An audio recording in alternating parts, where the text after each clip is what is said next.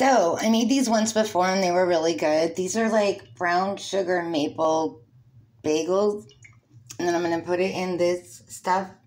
And then I'm going to dip it in brown sugar cinnamon um, on the top of them. The one that's not the back part, the, you know, the one that you can, like the textured part.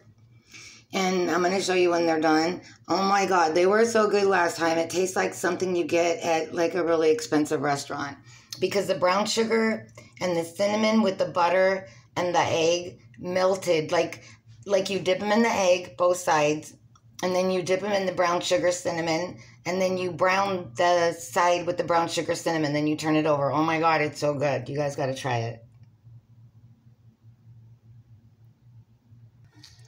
I should have showed you them.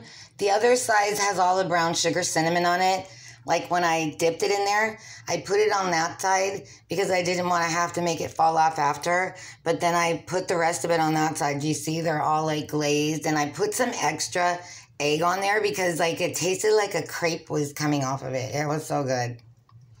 So I guess we'll see how these turn out.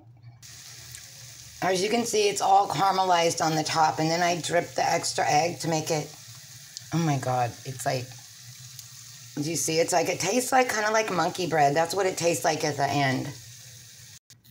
So it is, it, here it is being done.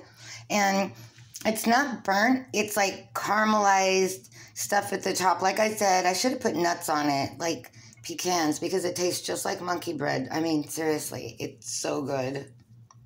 Bye.